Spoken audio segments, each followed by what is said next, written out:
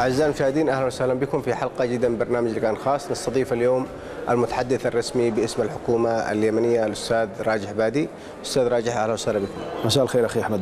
أستاذ راجح إذا بدأنا من آه، آخر ما يدور على الساحة اليمنية كان اليوم هناك مؤتمر صحفي لمحافظ عدن وهو يدعي الحكومة للعودة إلى عدن لممارسة مهامها ويقول أن عدم عودة الحكومة إلى عدن هو جزء من سبب آه، عدم استقرار الأوضاع الأمنية والاقتصادية في المحافظة. آه، بالتأكيد آه، سيدي الكريم تعرفون أنه طيلة ال- ال- الفترة الماضية لم تغب الحكومة عن عدن. كانت هناك عودة نهائية للاستقرار للحكومة لكن حدثت بعض الأعمال الإرهابية الكبيرة وخاصة تفجير مقر الحكومة حينها فندق القصر نعم. العمل الإرهابي الذي كان يستهدف حياة آه، الحكومة آه، كاملة مما أدى إلى إنه آه، تتغير خطة الحكومة الأمنية ولا تتجمع الحكومة في مكان واحد إلى أن يتم تأمين منطقة معينة. آه، فتم توزيع الوزراء آه، ما بين مارب وعدن وسوق آه، ونزول أكثر من منطقة لقيادات الدولة ورئيس ال- ال- الوزراء حينها. وحاليا عقب تحرير مدينة المكلا من سيطرة القاعدة قام رئيس الوزراء برفقة عدد من الوزراء للزيارة. هي عودة الحكومة فعلا أصبحت آه، ضرورية وملحة من أجل استقرار الأوضاع لكن آه، تحتاج آه، المسألة يعني تحري أمني أكثر تثبيت وضع أمني أكثر حتى لا تكون هناك يعني مخاطرة جديدة. لكن أؤكد هنا أنه خلال الأيام القليلة القادمة ستكون ال- ال- الحكومة في عدن إن شاء الله. طيب يعني غياب الحكومة أيضا عن المشهد كان يفترض أن يكون على الأقل استعادة جزء من مؤسسات الدولة لدورها في عدن. هناك مشكلة كبيرة جدا الآن تواجه ال- السلطة المحلية. لا تتمثل في عدم القدرة مثلا على مواجهة احتياجات الناس. آه، هناك شكاوى من آه، انقطاع التيار الكهربائي من أيضا عدم القدرة على تأمين آه، المشتقات النفطية في المحافظة. وهذا يلقي بأعباء جديدة على السلطة المحلية. هل لدى الحكومة تصور لحل هذه المشكلة؟ شوف سيدي الكريم لابد أن أن نعترف بشكل واضح إنه ال- ال- الحكومة آه، تعمل ليس وفق إمكانيات محدودة إنما إمكانيات منعدمة، نحن حتى هذه اللحظة لا يوجد في الخزينة العامة للدولة حتى ألف دولار. آه، عمل الحكومة في الفترة في الفترة الماضية منذ آه، أن عادت لممارسة مهامها كان يتركز على الجانب الإغاثي بشكل رئيسي. وتعرف أن البلد آه، المناطق المحررة خرجت من حرب حرب حقيقية مدمرة. نسبة الدمار الذي لحق بهذه المحافظات دمار كبير ومهول جدا. لا تستطيع هذه الحكومة ولا تستطيع هذه الدولة ولا تستطيع آه، يعني بجهودنا آه، ان ان ان نعيد ونطبع الحياة بشكل كامل في هذه ال- آه، المناطق. بنية آه، تحتية محطمة تماما آه، الكهرباء المياه الصحة التعليم يعني بلد مدمر بكل ما تحمله الكلمة من آه، من معنى. في ظل حكومة لا تمتلك أي مورد مالي يعني يصل إلى خزينتها حتى هذه آه، اللحظه الحكومة بدأت بالاعتماد على نفسها وكان الهدف ضمن الأهداف الاستراتيجية لتحرير المكلا من سيطرة القاعدة هو تحرير ميناء الضبة وهو ال- الموانئ الرئيسية لتصدير النفط لكي تعتمد الحكومة آه، على نفسها ويكون هناك عائد مالي تستطيع ان تطبع الأوضاع. الآن يتم آه، آه، تأمين الميناء. طرح ال- ال- المناقصات لشراء سواء ال- النفط الموجود في المخازن أو التواصل الآن تم آه، مع الشركات النفطيه لمعاوده ممارسة مهمة، هناك وفد حكومي كبير الآن موجود في فرنسا آه، من وزير النفط ووزير المالية للتفاوض مع الشركات الفرنسية أو خاصة توتال من أجل استئناف آه، مهامها سواء في المجال النفطي أو في أو أو في المجال ال- ال- الغاز. نحن نتحدث بوضوح وبصراحة كما قلت لك نحن حكومه لا توجد لديها موازنة للدولة آه، لا توجد لديها إمك... لا توجد لديها امكانيات حقيقية تمكنها. عام ونصف أستاذ راجح عام ونصف والحكومة يعني تردد نفس الكلام آه، ولا يوجد أي تقدم في الميدان رغم أن هناك استعادة المناطق هناك تأمين أيضا مناطق لكن آه، إلى الآن لم نجد لم يجد الناس في المناطق حتى المحررة أي آه، بوادر إيجابية ل- لأداء الحكومة أو لشكل من أشكال ال- عودة الخدمات البسيطة. يعني المعوقات كبيرة كما تحدثون لكن ما هي رؤية الحكومة؟ لا لكن ليس في المقابل إنه لا يوجد شيء. يعني عندما الآن مثلا آه، نقيس الوضع في آه، في أكبر مدينتين تم تحريرهم الذي هي محافظة عدن ومدينة المكلا عاصمة عاصمة محافظة حضرموت. نجد إنه كيف كان الوضع عقب آه، تحرير المدينة من سيطرة ميليشيات الحوثي؟ وصالح كان لا كهرباء نهائيا لا مياه لا تعليم لا صحة لا شيء. الآن هناك يعني الحياة بدأت تعود الأمن بدأ يستقر في عدن الخدمات بدأت تعود العملية التعليمية انطلقت في المدارس في الجامعات المستشفيات بدأت تعود إلى طبيعتها. بتعاون ليس من الحكومة فقط. جهود التعاون. نعم بجهود نعم لأنه لا نحن لا دولة كما قلت لك يعني لا لا نمتلك إيرادات. البنك المركزي لا زال حتى هذه اللحظه تحت سيطرة ميليشيات الحوثي وصالح. الدولة لا يوجد لديها الإمكانيات أو الموارد التي تمكنها من عمل شيء. نحن بالتعاون الجاد مع دول آه، آه، مجلس التعاون الخليجي وخاصة آه، يعني المملكة العربية السعودية التي تقوم بجهد يعني حقيقي وبجهد كبير من أجل مساعدتنا في تطبيع الأوضاع وتطبيع أوضاع الحياة في المناطق المحررة. لا لا تنسى أيضا إنه نحن نعمل على إعادة تطبيع الحياة في المناطق المحررة إضافة إلى العمل في الجبهة العسكرية من أجل تحرير المحافظات التي لا زالت تحت سيطرة ميليشيات الحوثي وصالح ولا تنسى أساسا أن اليمن في ظل الأوضاع الطبيعية هي كانت بلد يعني فقير بلد لا تمتلك أي قدرات لا تمتلك إمكانيات حقيقية تمكنها من النهوض.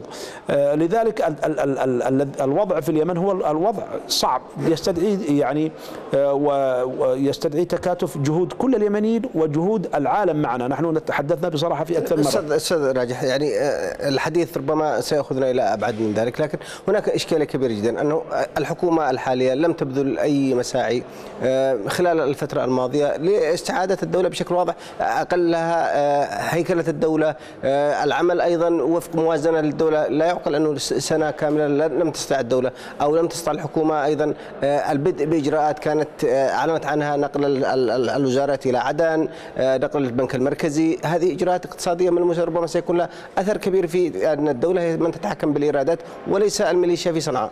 أنا كما قلت لك بالنسبة للإيرادات الحكومة الشرعية يعني طيلة الفترة الماضية الإيراد الرئيسي للبلد هو تصدير النفط. طيلة الفترة الماضية منذ أن اندلعت هذه الحرب تم التوقف التام عن تصدير المشتقات النفطية والغاز من ميناء بالحافة الاستراتيجي. من أين تأتي العائدات آه، آه، للحكومة لكي تدير؟ عمل لا, لا, لا توجد. سياحة في اليمن متوقفة تصدير نفط متوقف كل الإيرادات الضرائب الجمارك يعني حركة تجارية ما زالت الإيرادات تذهب إلى الميليشيا الأصنع يعني هناك الموانئ النفطية كانت موجودة تذهب إليها. الموانئ آه، النفطية الموانئ النفطية كانت متوقفة متوقفة تماما عن التصدير.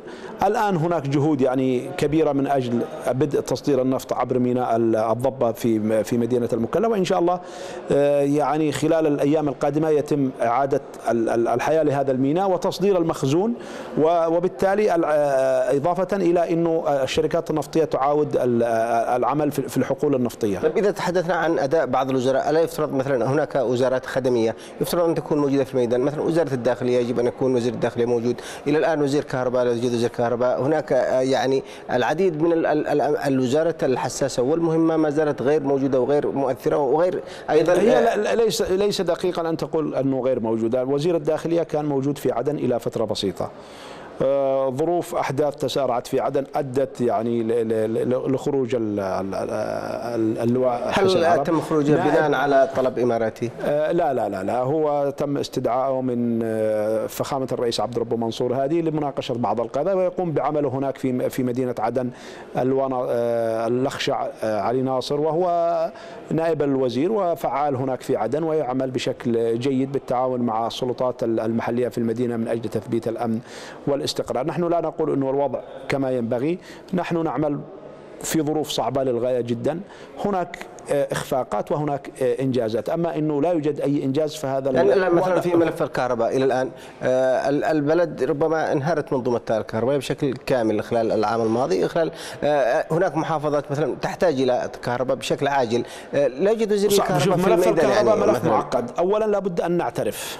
أنه الوضع السيء الآن للمنظومة الكهربائية ليس وليد اليوم. هو نتيجة تراكمات سياسات وقرارات خاطئة اتخذت من عشرات السنين وفي ظل حكومات متعاقبة. كان هناك يعني إرادة حقيقية.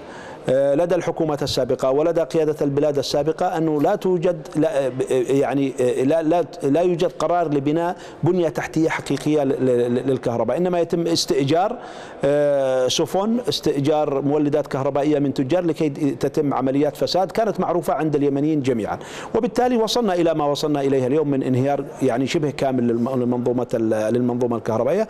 لكن الآن بالنسبة خاصة الآن في مدينة عدن الآن هناك تعاون كبير من قبل الأشقاء في الإمارات العربية المتحدة حقيقة. وأنا هنا أعبر عن جزيل الشكر باسم الحكومة اليمنية لدولة الإمارات قيادة وحكومة وشعبا للتعامل الجاد والسريع مع هذه المشكلة. الآن هناك المولدات في الطريق إلى مدينة عدن.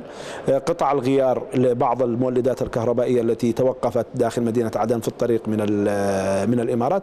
هناك جهود الآن بذلها فخامة الرئيس مع الأشقاء في قطر من أجل تقديم مساعدة عاجلة أيضا في الكهرباء لمدينة عدن. وإن شاء الله الرئيس الشهر الماضي أعلن عن وجود منحة تركية لإصلاح الكهرباء في مدينة عدن. بالإضافة إلى الحديث عن جهود إماراتية بالتالي هل يحتاج الكهرباء في عدن إلى مثل يعني تحالف من ثلاث دول أو أربع دول لحل لا هي طبعا لابد أن نوضح شيء أنه المنحة هي من الإمارات العربية المتحدة.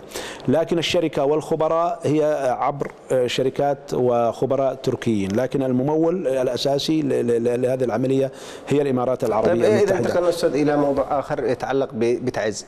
تعز أين موقعها من الحكومة يعني؟ نلاحظ أنه مشكلة تعز تعقدت وطال أمدها ومع ذلك هناك من يقول أن لا توجد رؤية حكومية واضحة لما يحدث في تعز. أنا لست من أنصار هذا القول، أحب أقول نقطة بالنسبة لتعز وأعتقد أنه كل اليمنيين يعرفوا هذا النقطة. أنه هناك ثأر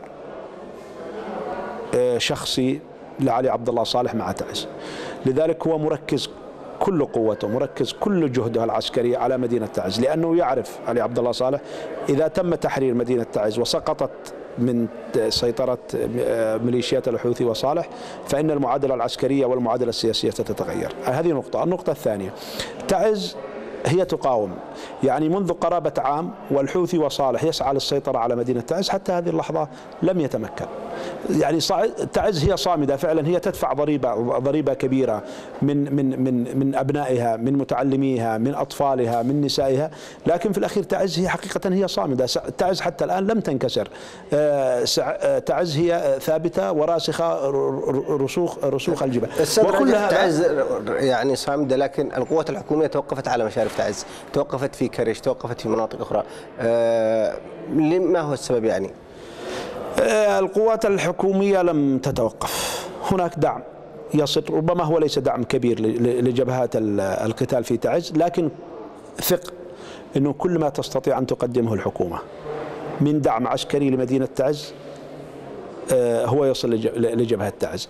هذا هل هذا الدعم كافي أو غير كافي هذا موضوع آخر. يعني القوات تحركت من من من عدن وحررت ابين حررت لحج ووصلت إلى منطقة كرش وتوقفت فيها. ما الذي منع القوات؟ رغم أنه كان هناك إعلان أن القوات ستتقدم من المنطقة الرابعة إلى تعز كون تعز أيضا تتبع المنطقة العسكرية الرابعة يعني. هناك حسابات أخرى ربما ليست حسابات عسكرية. تمنع مثل هذه التحركات لكن بالنسبة لبعض الأطراف. لكن بالنسبة للحكومة بالنسبة للسلطة الشرعية بالنسبة للجيش الوطني لا يوجد له أي حساب في تعز إلا تحرير تعز وإنقاذ تعز من هذه المعاناة ومن هذا الحصار الذي إذا تحدثنا أيضا في تعز هناك معاناة للجرحى. الأسبوع الماضي كان هناك عودة جماعية لعدد من الجرحى من مدينة عدن قالوا أنهم لم يتم الاهتمام بهم ولم يجدوا أي اهتمام أيضا أو تجاوب من الجهات الرسمية. ماذا تقدم ماذا لدى الحكومة بخصوص ملف الجرحى؟ هو شوف بالنسبة لملف الجرحى هو ملف شائك ومعقد. تعرف إنه الحرب لا زالت تدور في في في كثير من الجبهات والجرحى يتزايدون. وملف الجرحى ملف شائك. ومعظم الحالات إن لم يكن جميعها تستدعي العلاج في في الخارج، لكن لا نغفل إنه عدد كبير من الجرحى الذين سقطوا في هذه الحرب تم علاجهم سواء بالتعاون مع الأشقاء في المملكة الأردنية الهاشمية أو الأشقاء في جمهورية السودان.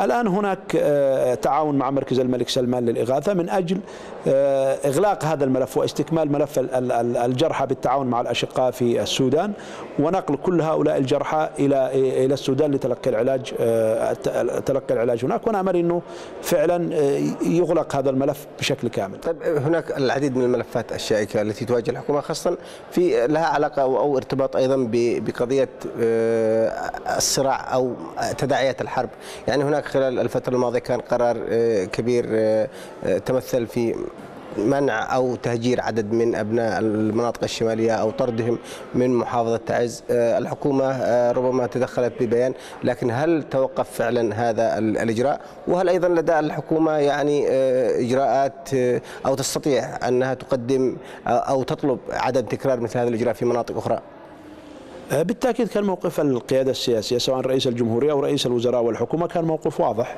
نعم. وتم تحديد موقف من فخامة الرئيس وموقف من دولة رئيس الوزراء تجاه هذه الممارسات. وفي الأخير فعلا تجاوبت السلطات في مدينة عدن واللجنة الأمنية أصدرت بيان آه، دعت لالتزام الجهات الأمنية والشرطية داخل مدينة عدن بالقانون آه، وهذا الذي المفروض ان أن يتم. دون الخروج أي تصرف خارج إطار الدستور والقانون هو بالنسبة لنا في الحكومة مرفوض تماما. سواء تقوم به ميليشيات مسلحة تقوم به أجهزة حكومية تقوم به اي أي فرد أي جهة تمارس أي ممارسات يعني تخالف نصوص الدستور والقانون مرفوضة تماما ولا يتم التعاطي آه، التعاطي معها من قبلنا. طيب إذا انتقلنا لملف آخر آه، آه، يتعلق بالمفاوضات آه، في دولة الكويت. أمس قررت الحكومة العودة مرة أخرى لطاولة المفاوضات بتوسط أمير قطر وربما بان كيمون من العالم المتحدة. ربما سنناقش هذا المحور لكن بعد فاصل قصير. أعزائي المشاهدين فاصل قصير نعود بعد لاستكمال الحوار مع ضيفنا الناطق باسم الحكومة اليمنية الأستاذ راجح بادي كونوا معنا.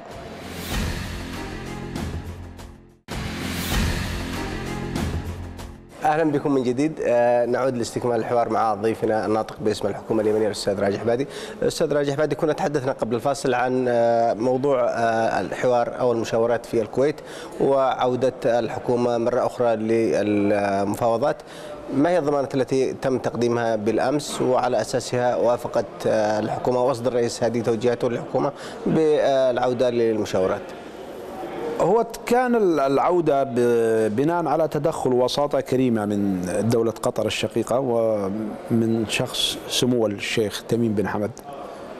آه، عندما التقى في الدوحة بفخامة الرئيس والأمين العام للأمم المتحدة السيد بان كيمون أنه كان هناك حرص آه، على إنجاح المشاورات واستمرارها لكي تصل إلى تسوية حقيقية. آه، وكان هناك طلب أنه يعني نحن خضنا تجارب كثيرة مع الحوثيين لماذا لا, لا تتاح هذه الفرصة ولو كفرصة أخيرة للجلوس مجددا مع مع مع الحوثيين؟ آه، وسيتم الضغط من قبل المجتمع الدولي على الحوثيين للقبول. للأسف الشديد يعني الضغط على الحوثيين للقبول بالنقاط الخمس وجدول الأعمال الذي كان وضعه السيد إسماعيل ود الشيخ قبل إعلان المفاوضات بأشهر وقال إنه هذا حسب كلام إسماعيل حينها المبعوث الخاص إنه الحوثيين وافقوا عليها لكن الجميع تفاجأ في الكويت أنهم عندما جاءوا الكويت جاءوا آه، آه، بإرادة آه، يعني مشكلة المشاورات في الكويت هي تتلخص أنه الحوثيين حتى هذه اللحظة لم يتخذوا قرار أن السلام بالنسبة لهم خيار استراتيجي. السلام هو تكتيك بالنسبة لهم لافتة ترفع في الأوقات التي يحتاجونها ويسقطونها في اللحظة التي يحتاج. أما أنهم جادين في في السلام جادين في إحلال السلام نحن منذ الحرب الأولى في صعدة حتى هذه اللحظة عندما استولوا على الدولة وساطروا الدولة وانقلبوا على على على السلطة الشرعية ووضعوا الرئيس والحكومة تحت الإقامة الجبرية كم من سلسلة اتفاقات كم من سلسلة مشاورات تمت مع الجانب الحوثي وللأسف لم يتم تنفيذ أي شيء. لكن نحن في الأخير دولة. هل يعقل أن العالم إلى الآن لم يكتشف أن الحوثيون يراوغون؟ يعني الآن أكثر من شهر مضى على الناس في الكويت. بالتأكيد العالم كله ولذلك المجتمع الدولي في بالنسبة فيما يتعلق بالأزمة في اليمن والحرب في اليمن الموقف الدولي موقف موحد. بالنسبة هناك قرارات مجلس الأمن تصدر بالإجماع فيما يتعلق بالحوثي لكن في الأخير المجتمع الدولي يتحدث يقول إن هذه ميليشيات مسلحة تفرض امرا واقعا سيطرت على العاصمة صنعاء سيطرت على مؤسسات مؤسسة الدولة. هل تعتقد إن الضغط كافي يعني الذي يمارس باتجاه الحوثيين نلاحظ إنه الضغط خلال الفترة الماضية أنا قناعتي الشخصية إنه الضغط على على ميليشيات الحوثي وصالح ليس ضغطا كافيا. طيب يعني نلاحظ إنه هناك ضغط كبير جدا على الحكومة للبقاء في المفاوضات رغم أن العالم يتابع يوميا ما يحدث في الكويت. إلى الآن الموقف المبعوث الأممي ليس واضحا ما زال يبحث ربما عن من هناك يقول يبحث عن نصر شخصي. له أو عن إنجاز لكن على حساب اليمنيين. لا لا السيد إسماعيل ولد الشيخ يقوم بمهمة نبيلة. وهو حريص على إحلال السلام في اليمن. السيد إسماعيل ولد الشيخ عاش في اليمن واشتغل مع منظمات دولية في اليمن وهو شخص محب لليمن ولليمنيين. طيب لكن هذا هذا هذا سيدي يعني هذا موقف شخصي ربما يشكر عليه لكن نحن نتحدث عن موقفه في المفاوضات. يعني إلى الآن لم يسمي الطرف المعرقل بشكل واضح أن الحوثيون قاموا بعرقله التسوية خلال أو مشاورات الكويت بشكل واضح. يعني ما زال الآن يقول أن هناك تقدما يوميا وإلى آخره. وبالتالي وما يحدث في الغرف المغلقة هو عكس ما يعني في الأخير مهم مهمة المبعوث الدولي ربما تقتضي منه إطلاق مثل هذه التصريحات لكن كأداء وكنوايا حقيقية لدى إسماعيل ولد الشيخ ومن خلال تجربتنا مع في العمل معه هو شخص يقوم بجهد كبير. نحن في الحكومة حريصين على إنجاح مهمته ونشعر أن نواياه صادقة تجاه اليمن واليمنيين. بالأمس كان الناطق باسم ميليشيا الحوثي محمد عبد السلام يقول لن نسلم السلاح السلاح لم يستطيعوا أخذه منا بالقوة لن نسلمه لهم بالحوار يعني ألا يعد هذا هو ملخص لمستقبل المشاورات؟ بالتأكيد أنه هذا ملخص لمستقبل المشاورات هذه اللغة لا يستخدمها رجل يريد السلام هذه لغة يريد رجل يريد أن يستمر في في المعركة حتى ولو كانت على حساب اليمنيين وعلى حساب اليمنيين. هل يمتلك الحوثيون مقومات الصمود أو الاستمرار في المعركة للفترة المقبلة يعني؟ شوف سيدي الكريم قبل عام أين كان الحوثيين؟ كانوا في عدن. الآن الحوثيين يدافعون عن صنعاء. وهذا يلخص المعادلة. قبل عام كان الحوثي يحلم بحكم اليمن كاملا. الآن الحوثي يريد المشاركة في حكومة وحدة وطنية. يعني لا يعني لابد أن نرى الأمور من منظار واقعي ومن ومنظار حقيقي. هو هذا الذي يوضح هناك من يقول أن هناك تسوية قادمة أو تعمل على الضغط يعني هناك أطراف دولية تعمل على طبخها أو إعدادها تنص على تشكيل حكومة توافق بصلاحيات واسعة مع صلاحيات شكلية للرئيس الرئيس هادي وعودته إلى عدن وعودة الحكومة إلى صنعاء. هل يعني وصلتكم يعني معلومات حول هذا هناك رؤى كثيرة قدمت لكن نحن موقفنا واضح. كحكومة شرعية لابد من تنفيذ القرار 2 2 1 6 وخاصة الشق الأمني والعسكري فيه وخاصة ما يتعلق بانسحاب المسلحين من المدن والميليشيات وتسليم السلاح. أما التنازل عن شرعية الرئيس عبد الرب منصور هادي فهي بالنسبة لنا أمر مرفوض مطلقا ولا يمكن أن نتفاوض حوله، عبد الرب منصور هو يمثل الشرعية، يمثل إرادة اليمنيين الذين خرجوا في انتخاب هذا الشخص ولا يمكن أن يتم القبول من من انتقاص من شرعية عبد الرب منصور هذه. اذا إذا ذهبنا إلى ما يقوله الحوثيون يقولوا نسلم لمن نسلم السلاح؟ لا توجد دولة، هل نسلمها لميليشيا أخرى؟ السلاح سلاح الدولة أين كان السلاح هذا قبل ما تستولي عليه ميليشيات الحوثي وصالح كان كان موجود لدى الدولة الدولة الذي الذي انقض عليها الحوثي وصالح. هذا المنطق إنه لمن نسلم السلاح؟ لو كان حدث يعني لو كان حدث انشقاق في السلطة الحاكمة لو كان انشق رئيس الوزراء عن رئيس الدولة واستولى على معسكرات واستولى على سلاح حينها تتحدث لمن نسلم. لكن الذي حدث في اليمن هو انقلاب. ميليشيات مسلحة سيطرت على على سلاح الدولة تعيد السلاح للدولة. هذه ما هو وضع الجيش في هذه المرحلة؟ عندما نتحدث عن تسليم سلاح وإعادة السلاح يعني ربما جزء كبير من الجيش ساهم في الانقلاب وكان أداة الحوثيين لاقتحام لا ليس ليس جزء كبير. غالبية الجيش هو يقف مع الشرعية لو كان غالبية الجيش اليمني آه، يقف مع الانقلابيين ما كنا استطعنا تحرير كل هذه المحافظات وكل هذه المساحات من قبل آه، السلطات الشرعية خلال هذا العام.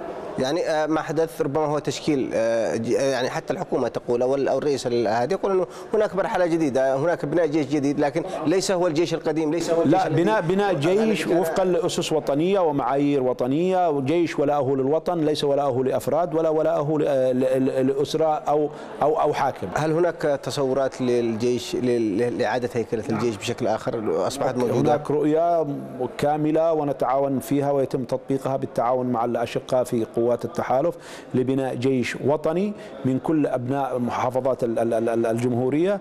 آه، يكون هذا الجيش ولاؤه لليمن. وليس لأفراد وليس ل- لأشخاص، عقيدة هذا الجيش تكون واضحة بعيدا عن أي انتماءات سياسية أو ولاءات قبلية أو ولاءات هويه أو ولاءات طائفية، اذا إذا بني هذا الجيش صح صحيح أنه بناء هذا الجيش يحتاج لجهد وتقف أمامنا كثير من الصعوبات، إذا تم بناء هذا الجيش بهذه الطرق وبهذا الأسس الوطنية سيكون هذا هو صمام أمان لليمن في المستقبل. بالاسبوع الماضي ربما شهدت صنعاء تخرج آه، دفعة جديدة من جيش وظهر آه، في مقاطع آه، تلفزيونية للجيش وهو يهتف بالولاء لعبد الملك الحوثي ويطلق شعارات هذا هذا ليس جيش، هذه هي ميليشيات الحوثي وصالح إنما تم إلباسهم الزي العسكري لكي يرددوا هذه هذه الصرخة. هل لدى الحكومة آه، في حال تعثر المشاورات خطة بديلة آه، هل هناك أيضا توجه لأن يعود الحل أو الحسم آه، آه، العسكري. كل الخيارات بالنسبة لنا في الحكومة مفتوحة ومتاحة وكل خيار سواء كان خيار سياسي أو خيار عسكري يضمن إفشال الانقلاب وإخراج المسلحين والميليشيات من المدن وتسليم السلاح سنعمل عليه. سواء كان هذا الخيار سياسي أو عسكري آه، بالأسبوع الماضي شهد انهيار كبير للعملة وربما كان هناك آه، عدد من آه، التصريحات أو الدعوات سواء للاتحاد الأوروبي أو مسؤولين في المجتمع الدولي بضرورة رفض البنك المركزي في صنعاء بمجموعة من الأموال ل يعني وقف هذا الانهيار هل الحكومة مؤيدة لمثل هذه الطروحات؟ الحوثي عبث بأربعة مليار دولار كانت آه، موجودة كمخزون استراتيجي احتياطي نقدي آه، في البنك المركزي. صرفها في آه، غالبية صرفياتها في مجالات آه، فساد وفي مجالات. ما يسمى بالمجهود ال- الحربي ولا يمكن أن نقبل والمجتمع الدولي يقف هذه اللحظة حتى هذه اللحظة مع مطالب ال- الحكومة بضرورة آه، ألا يكون ال- ال- البنك المركزي تحت سيطرة ميليشيات الحوثي وصالح حتى يتم رفضه بأموال وبعائدات آه، جديدة مالية لكي تتحسن وضع العملة وهناك الكثير من ال- القوى الموجودة في العالم الآن تطالب بنقل البنك المركزي من آه، من صنعاء لكي يكون أكثر حيادية وأكثر آه، مصداقية في عمله. طيب إذا جينا للنقطة الأخيرة ال- التي تتعلق بملف ال- ال- ال- المساعدات وملف الإغاثة. يعني نلاحظ أنه خلال الفترة الماضية كانت الإغاثة والمساعدات كانت تصل أيضا جزء كبير جدا منها يصل إلى الميليشيا وجزء منها أيضا في في مناطق أخرى. وكنا نشاهد أنه يتم بيع جزء منها في السوق السوداء ولا تذهب لمستحقها الحكومة إلى أي مدى لديها قدرة على الإسهام في معالجة الخلل في هذا الملف بالتحديد؟ شوف بالنسبة للإغاثة نحن لدينا قرار في الحكومة أنه المواد الإغاثية لا تصل فقط إلى المناطق المحررة إنما تصل لليمنيين في كل المحافظات حتى المحافظات التي يسيطر عليها ميليشيات الحوثي وصالح. ال ال آه، نحن مسؤولين عن 25 مواطن يمني و- 25 مليون مواطن يمني مسؤولين عنهم سواء كان في صعدة سواء كان في حضرموت سواء كان في صنعاء سواء كان في الضالع في كل مكان. مسؤوليتنا الأخلاقية والوطنية والدستورية تقتضي أن تصل كل المساعدات إلى كل اليمنيين. اليمني المتضرر في عدن مثل متضرر في في صعدة من هذه الميليشيات ومن هذا الانقلاب. لذلك لابد أن, أن, نعمل وتم تشكيل لجان للإغاثة في كل محافظات بما فيها المحافظات التي لا زالت تحت سيطرة ميليشيات الحوثي وصالح. بالتأكيد عمل كبير عندما تعمل آه، في مجال إغاثة 25 مليون شخص. لابد أن تكون هناك اختلالات قد تكون هناك إخفاقات بسيطة لكن الجهد الذي قامت به الهيئة العليا للإغاثة مع مركز الملك سلمان هو جهد كبير ولا بد أن يعرف المشاهد الكريم أنه الهيئة العليا للإغاثة الذي هي الهيئة الحكومية هي لا تقوم باست استلام أي مواد عينية هو عملها فقط عمل تنسيقي مع مراكز الإغاثة وخاصة مع مركز الملك سلمان أنه الهيئة تمد هذا هذا المركز بالمعلومات عن الأماكن التي تحتاج مواد إغاثية عاجلة والمركز هو من يقوم بشراء وتسليم هذه المواد للجان الإغاثة وللجمعيات والمنظمات الموجودة داخل اليمن. أه، ربما اليوم كان هناك حدثين فارقين في صنعاء الأول يتمثل بغارات لطيران التحالف والثاني يتعلق بلقاء الرئيس السفير الروسي استقباله للرئيس المخلوع علي عبد الله صالح ما هي دلالة هذين الحدثين في هذا التوقيت؟ آه، بالنسبة للغارات الجوية شيء طبيعي إذا لم لم يلتزم ميليشيات الحوثي وصالح بالهدنة الذي اتفقنا أن تبدأ من يوم 10 إبريل الماضي. وتحدث تحدثنا نحن وتحدثت قوات التحالف وتحدث المتحدث باسم قوات التحالف أنه إذا لم يتم التزام الحوثيين ورأينا هناك خطورة واختراق كبير فإننا سنرد. الموضوع الثاني بالنسبة للقاء السفير الروسي بالرئيس المخلوع عبد الله صالح لا يحمل أي دلالة لأن السفير الروسي جاء للقيادة الشرعية في اليمنية المتواجدة في الرياض وطرح هذه المسألة أنه سيعود إلى صنعاء لزيارة بسيطة ليلتقي بكل الأطراف السياسية الموجودة هناك. صنعاء صالح بالنسبة بالنسبة لليمنيين وبالنسبة للعالم هو انتهى تماما. هو الآن آه، من يريد أن فقط البعض يريد أن يساعد صالح آه، ربما في آه، في في الخروج من حالة الموت السريع الذي يعيشها. طيب مؤخرا كان هناك حديث عن أن السفارة الأمريكية أو الجانب الأمريكي لوح بأنه سيعود لافتتاح سفارته في صنعاء، ما مدى دقة غير صحيح هذا الكلام مطلقا والأصدقاء الأمريكان نفوا هذا الخبر جملة وتفصيلا عندما تواصلنا معهم وأكدوا أن هذه شائعات من مطابخ اعلام إعلامية معروفة والكل يعرف من يطلق هذه الشائعات. شكرا جزيلا أستاذ راجح بادي على سعة صدرك وتفاعلك معنا. أه يعني أشكرك جزيل الشكر. أعزائنا المشاهدين في ختام هذه الحلقة لا يسعني أن أشكر ضيفي أه الناطق باسم الحكومة اليمنية الأستاذ راجح بادي وهو الشكر كذلك لجميع متابعينا على قناة بلقيس كونوا معنا في حلقة قادمة من برنامج لقاء خاص.